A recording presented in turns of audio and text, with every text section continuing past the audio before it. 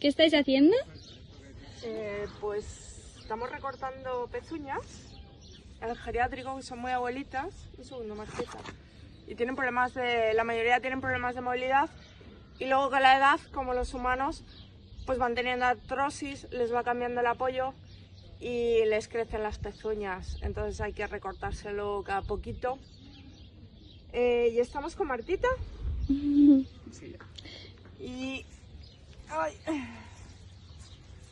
Martita, si veis, mira por ejemplo.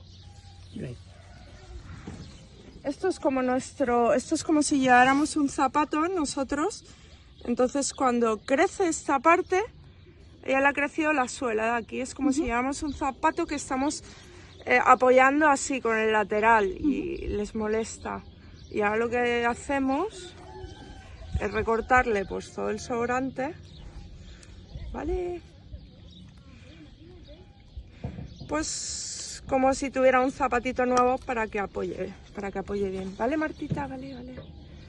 Y la verdad que se portan súper bien. Y esto se lo hacemos pues cada pocos meses. Y cada vez que podemos, cada dos, tres meses, porque sí que es verdad aquí, como podéis ver, aquí de Pablito también y Frida, eh, que Frida vive amputada de su manita delante y Pablito de su pie detrás. Eh, y en general pues son todas muy mayores. Martita tiene, ¿qué edad tiene ahora, Edu? Martita. Martita tendrá 11 años tranquilamente. Vino en 2015 y ya era adulta. No, yo creo que tiene más edad, ¿eh? Si vino pues, con... o 14, tenía con Julieta. No sabemos la edad, pero en 2015 ya, era ma- ya había sido madre muchas veces.